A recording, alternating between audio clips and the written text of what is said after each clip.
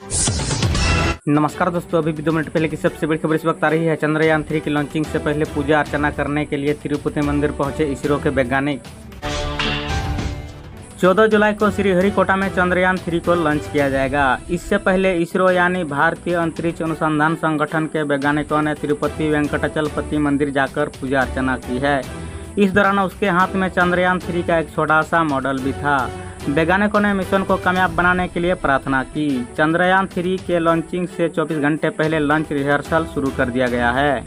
ऐसे ही पल पल की छोटी बड़ी खबर जानने के लिए बैक टू बैक न्यूज़ को सब्सक्राइब कीजिए। यदि आप फेसबुक पेज पर देख रहे हैं तो पेज को फॉलो कीजिए। अपनी राय कमेंट पर ज़रूर दें। सतर्क रहें अलर्ट रहें। वीडियो देखने के लिए आपका बहुत बहुत धन्यवाद।